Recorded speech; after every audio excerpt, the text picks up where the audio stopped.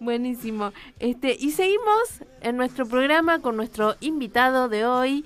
Él es Eugenio Cornaquione, vecino de José Mármol, fotógrafo. Ahí están los aplausos. Bienvenido. Gracias, gracias, la verdad. Este, un gusto poder estar y muy original el, título del programa, El Furgón es que yo, me acordé del viejo furgón de mármol.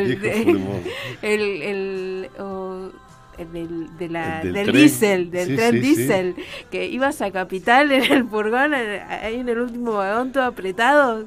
De eso me acordé. muy bueno. Este, con las bicicletas. Con las bicicletas.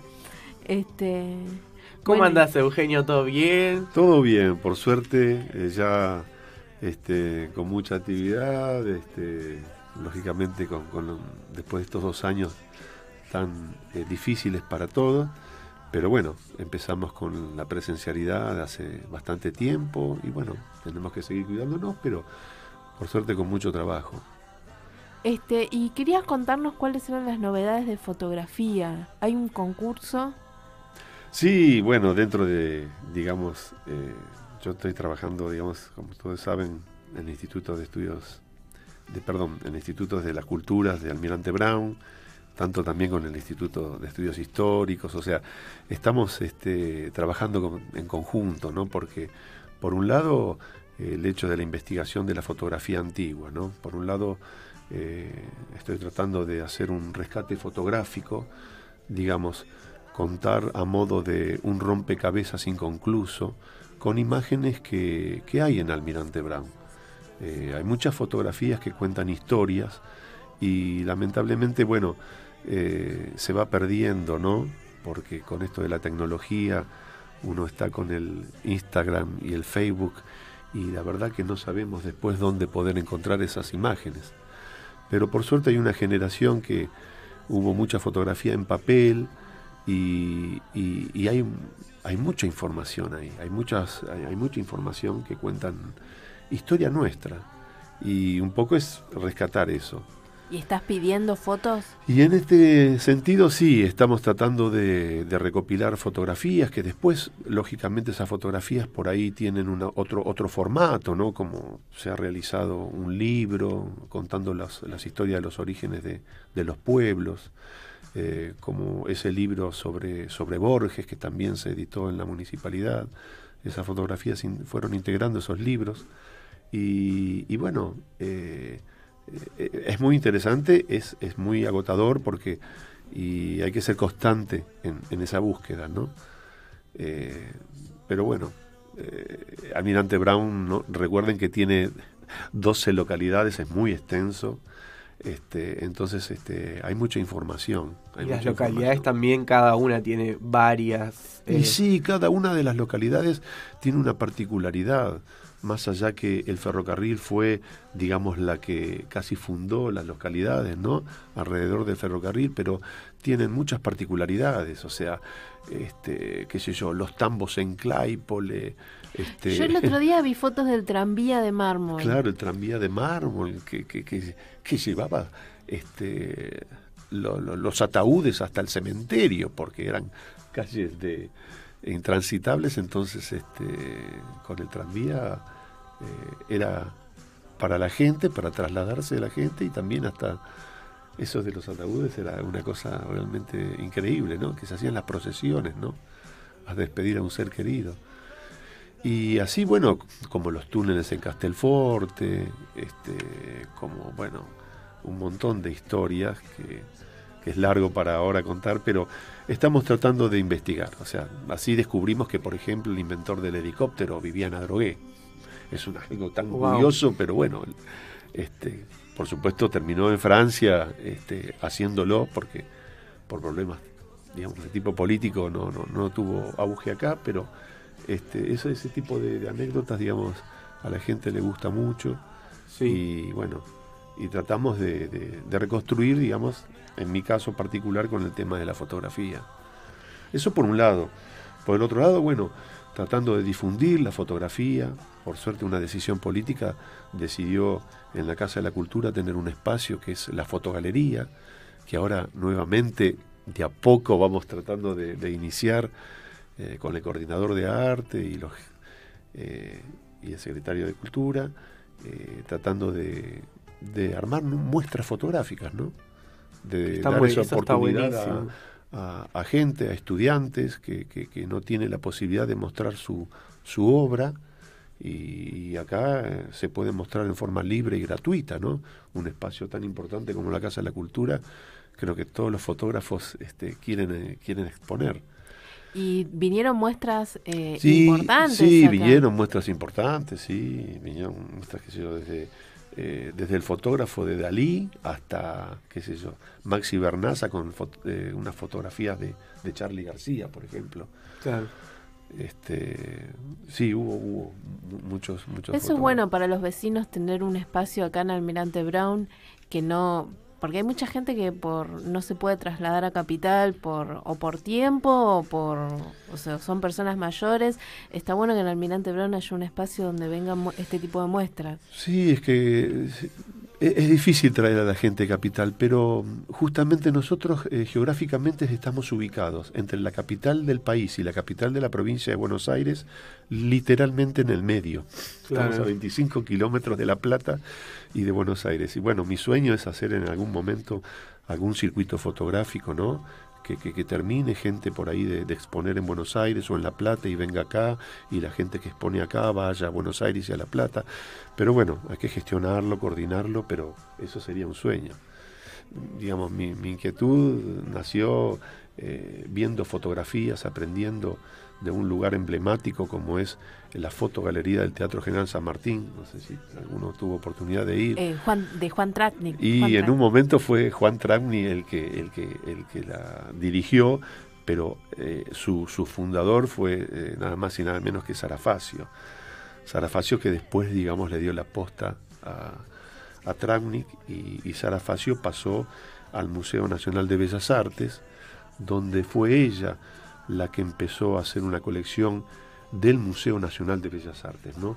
O sea, ella eh, impulsó este, a modo a nivel nacional y en Argentina, que nunca había sucedido, este, la fotografía como arte, ¿no?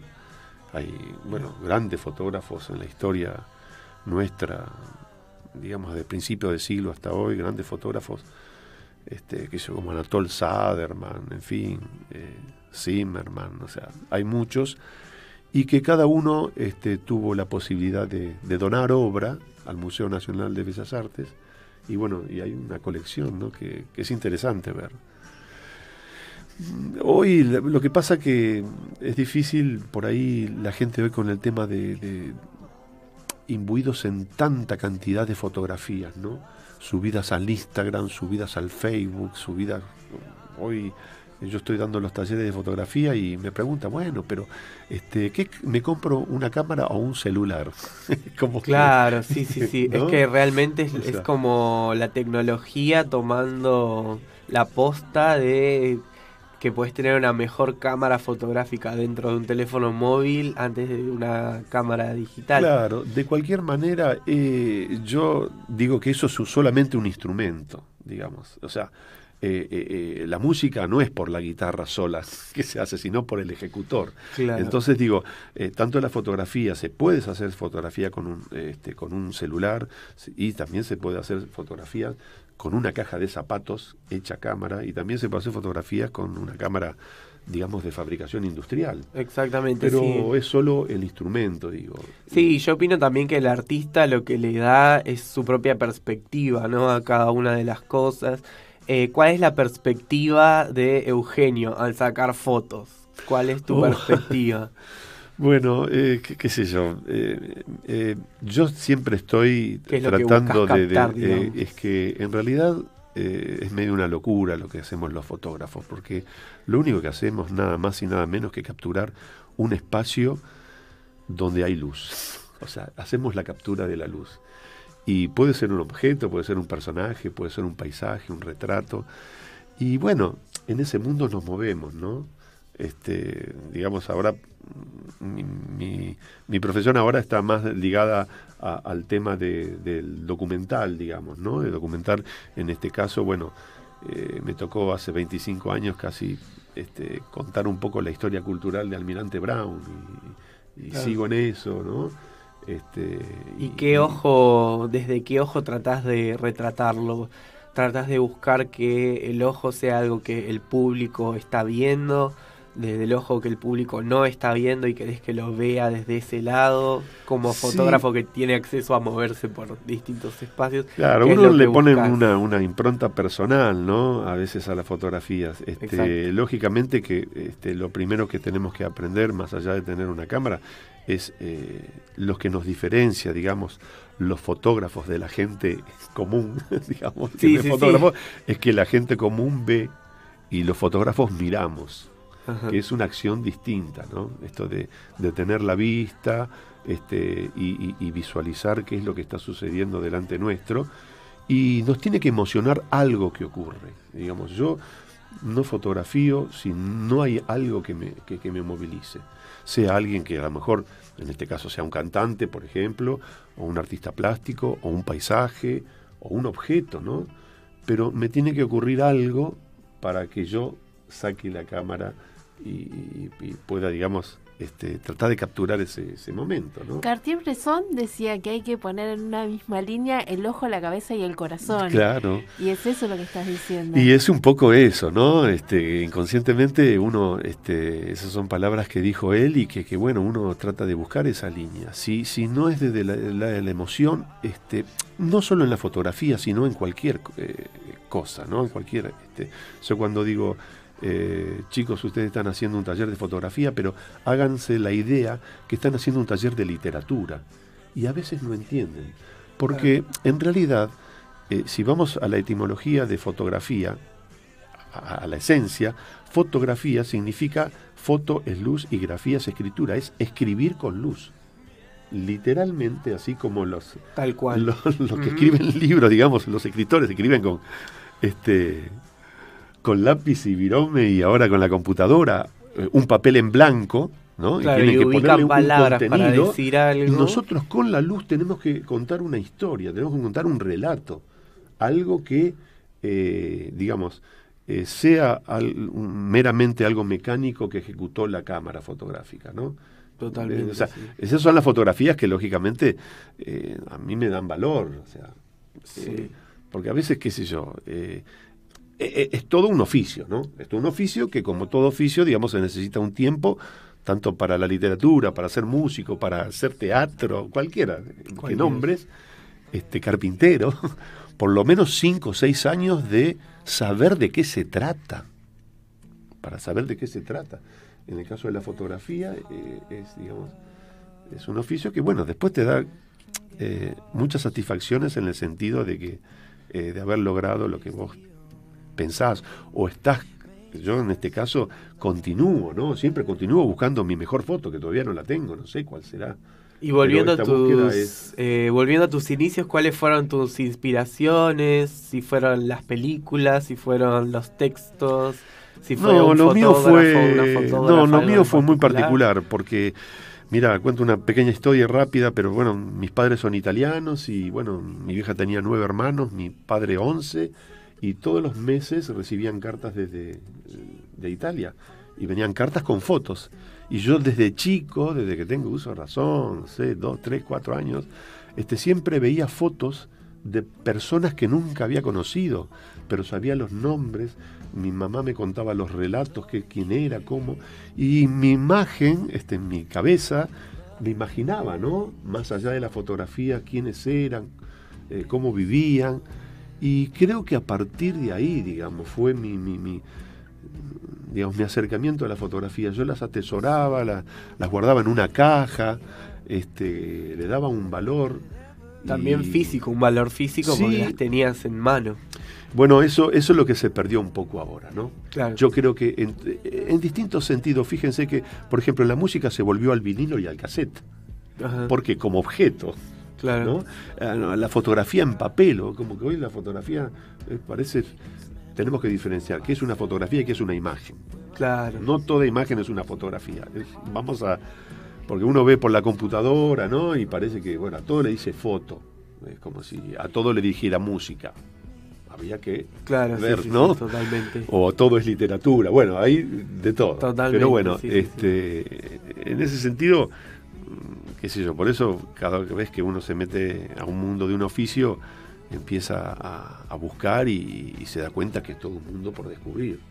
A mí me pasó esto que pensé que, me acuerdo, mi, mamá me regaló tanto que hinchaba con la fotografía, la fotografía me, me regaló una Kodak Instamatic de esas de plástico y un rollito y a sacar fotografías, ¿no? Sí. Y bueno, y un día me fui a dedo a Ushuaia, que tardé 13 días en llegar, y empecé a documentar con esa cámara. Y mis compañeros decían... Y así empezaste. Y así empecé a documentar un road movie, sería, ¿no? Claro, fotografía, yendo por los, con los camiones, por los ripios, y bueno, y ahí me, empezó a atrapar, digamos, a empezar a contar una historia, este, en este caso era una aventura de, adolescente, pero que eh, hoy viendo esa fotografía, digamos, no sé, tiene un valor... Dicen más que, que muchas cosas, porque eh, hay lugares de, que no existen más. Claro, y si hay algún joven fotógrafo, fotógrafa que nos esté escuchando que pueda eh, acercarse a aprender de fotografía y o a por lo menos este escuchar de tu experiencia y eso como por supuesto ahora están justamente este, los, los, talleres fotográficos en este momento están en, pleno funcionamiento pero después de las vacaciones de invierno se armará digamos otro grupo. Este, un grupo termina ahora para julio y después de julio otro grupo hasta diciembre, como para dar este que descubran a ver qué es este mundo de la fotografía, ¿no? Sí. Tratar de acercarse. Se estrenó el documental de, de Cabezas, el fotógrafo y el cartero. Sí, sí, en sí. Netflix. En Netflix. ¿Cómo crees que cambió la profesión, el, eh, o sea, el asesinato de un fotógrafo en plena democracia? porque o sea, o sea, y en ese asesinato intervino la policía, el poder político. ¿Cómo crees que los sí, cambia sí, Lo, lo, pude ver. Este, lamentablemente, bueno, hablar de José Luis es todo, todo un, eh, una, digamos, es muy triste lo que pasó en nuestro país, ¿no? En ese sentido. Y, y, lo vi el documental, pero de cualquier manera, digamos, yo tuve oportunidad incluso de de hacer homenajes y de plantar árbol, digamos, en el, en el monolito allá en, en, Pinamar, ¿no? Recordando este, cuando había pasado nueve años, doce, ahora somos 25 años, ¿no? Y vi el documental y bueno, me parece que está bueno, eh, por un lado, para mostrarlos a otros países como qué es lo que sucedió, pero en realidad este, tiene muchas falencias ese documental en el sentido que no muestra, por ejemplo, eh, la lucha de la Asociación de Reporteros Gráficos de la República Argentina, todo lo que hizo. Eh, fue una asociación civil que se metió de lleno eh, por primera vez a un juicio, digamos, ¿no? que aportó un montón de información. me faltó un poco saber de la vida más de José Luis, ¿no? O sea, de su intimidad, de cómo, esto que me preguntan ustedes, de cómo empezó. Más del artista y no del, eh, título. Sí, sí, este, y no se olviden que fue uno de los eh, eh, juicios que duró mucho tiempo. Este, por supuesto que por el lugar donde ocurrió, el lugar era Dolores, este, y bueno, la cobertura de todos esos, que después se fueron diluyendo en el tiempo, ¿no? los medios parece como que ¿no? una trituradora, una información mata a la otra y, eso que era...